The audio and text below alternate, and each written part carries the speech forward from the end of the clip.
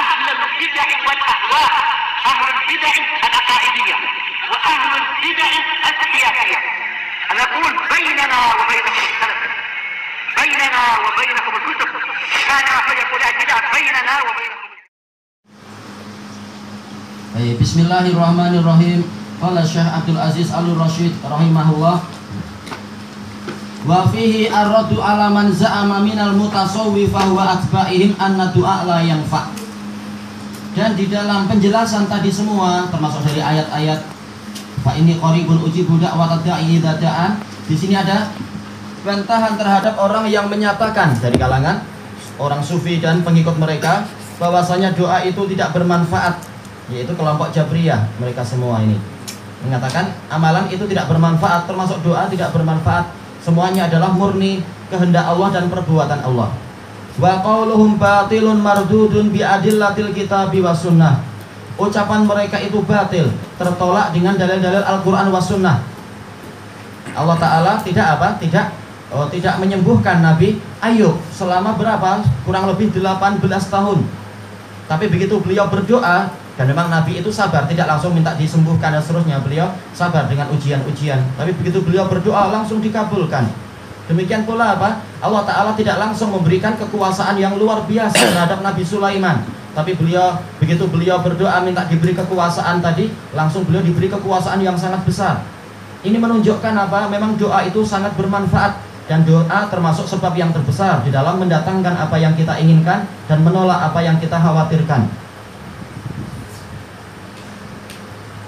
dan seterusnya kisah-kisah yang banyak dalil yang menunjukkan bahwasanya doa ini ada manfaatnya Allah jadikan walaupun takdir itu semuanya ada takdir itu ada tetapi apa Allah jadikan bahwasanya doa itu sebagai sebab untuk terkabulnya suatu keinginan doa itu sebagai sarana terhadap suatu takdir yang lain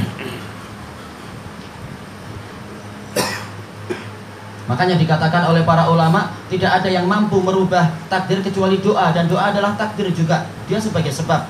Sebagaimana apa? Lapar ini adalah takdir. Nah, untuk merubah takdir yang ini kita perlu takdir yang lain yaitu apa? Kita perlu makan. Nah, dengan makan itulah Allah menakdirkan kita untuk kenyang. Jadi Allah ingin hamba beramal. Nah, Allah akan membantu di situ. Nah, di antara amalan yang terbesar adalah apa? Doa dengan seluruh syarat-syaratnya. Kemudian disebutkan di sini wasunnatil mutawatirah dan sunnah yang mutawatirah, sunnah yang datang banyak sekali. Wal akli dan juga secara akal. Secara akal kita mampu melihat yang semacam itu. Watajarubil umam dan pengalaman-pengalaman umat-umat. Berapa banyak siksaan yang datang kemudian siksaannya dihentikan ketika ketika mereka berdoa mohon ampun dan seterusnya itu. Demikian pula kesulitan-kesulitan yang ada dan seterusnya. Kisah yang terlalu panjang untuk disebutkan. Dan ini telah banyak disebutkan oleh siapa? E, misalkan oleh Ibnu Abid Dunia dalam kitab Mujabid Dakwah. Orang-orang yang doanya dikabulkan. Dan juga di Sahih Bukhari dan Muslim banyak sekali. Begitu ada doa maka ada pengabulan di situ. Ketika belum doa maka keadaan belum berubah. Inna Allah la yughayyiru ma biqaumin hatta yughayyiru ma bi anfusihim. Sesungguhnya Allah tidak merubah apa yang ada pada suatu kaum sampai mereka yang berusaha untuk merubah apa yang ada pada diri mereka sendiri. Termasuk cara merubahnya adalah apa? Dengan banyak-banyak berdoa pada Allah taala. Wa fihi anna du'a yutlaqu ala su'ali wa talab wa alal ibadah. Dan juga di dalam penjelasan ini ada dalil bahwasanya doa itu diistilahkan untuk permintaan dan permohonan dan juga doa itu menjadi istilah untuk suatu untuk ibadah itu sendiri. Semuanya adalah doa. Fa doa makna lughatan as-su'alu wat talab. Maka doa secara bahasa maknanya adalah permintaan dan permohonan. Wa yang qasimu ila qismain, terbagi menjadi dua. Doa ibadah karena ini adalah apa? Soalun bil hal. Dia tidak langsung minta dengan lidahnya tapi minta dengan keadaan dirinya. Dia sujud itu juga ibadah. Untuk apa dia sujud? mencari pahala, menaikkan derajat, menghapus dosa, maka ini adalah permintaan sebenarnya. Wa doa umas Allah dan doa permintaan yaitu apa? Soalun bil qal. Dengan apa? Ucapan. Fa du'aul mas'alah huwa talabu ma yanfa'u da'i min jalbi naf'in au daf'i dur.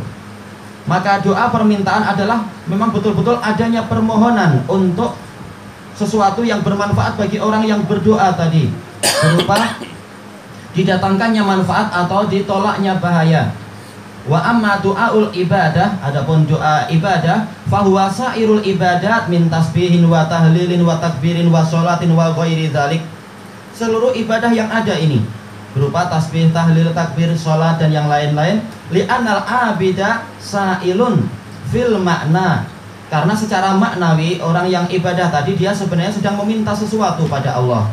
Fayakunu da'iyan abida. Maka dia adalah orang yang memohon dan juga sekaligus beribadah. Baik.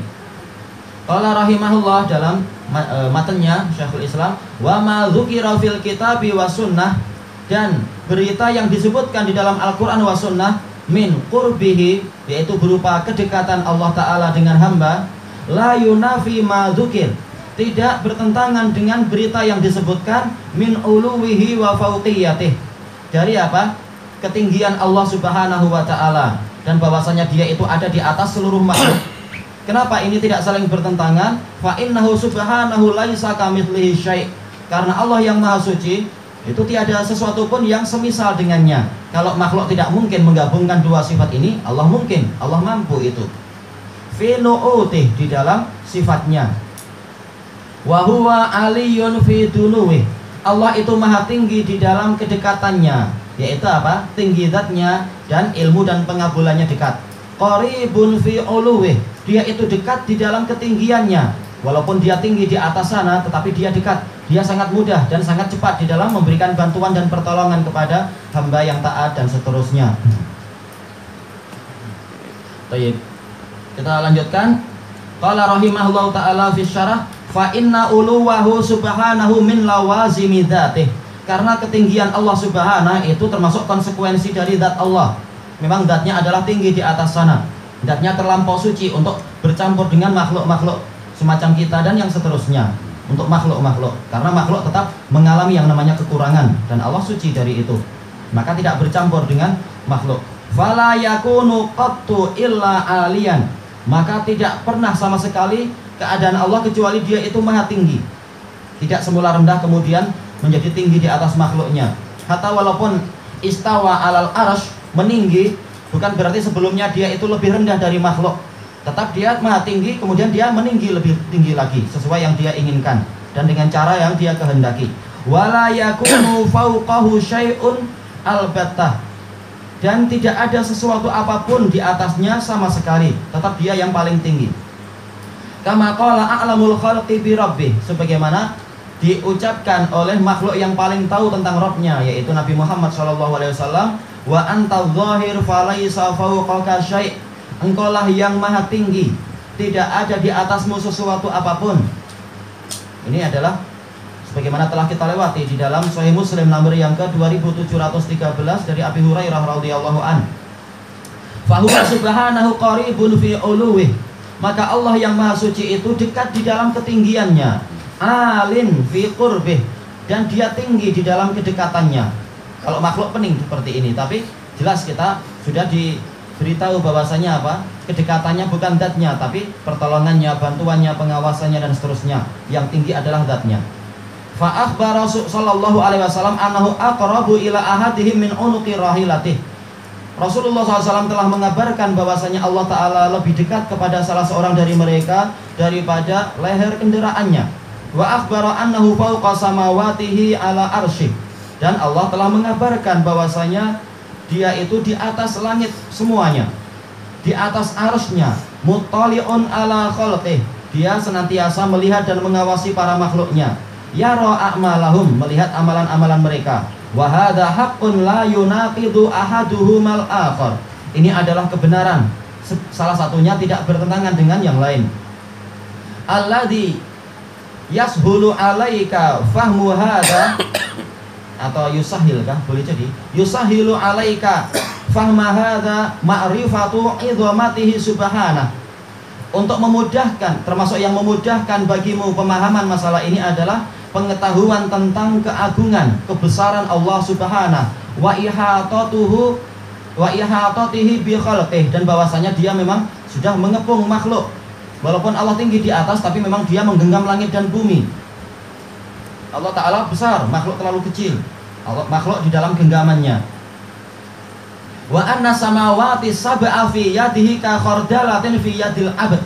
Dan bahwa pengetahuan bahwasanya langit yang tujuh di dalam tangan Allah itu hanya seperti khardal saja, yaitu satu biji sawi, biji sawi hitam kecil saja. Kalau ditiup angin terbang dia, biji sawi itu. Di tangan seseorang fakaifa yastahilu fi haqqi man hadha ba'du 'azamatihi ayyakuna fawqa arsyih wa yaqrubu min khalqih kaifa sya wa yaqrabu min khalqihi kaifa sya. Maka bagaimana mustahil untuk zat yang seperti ini baru sebagian keagungannya? Untuk apa? Dia itu di atas arsnya sekaligus dia mampu mendekat kepada makhluknya sekehendak dia. Wahwa alal ars dan tetap dia di atas arsnya.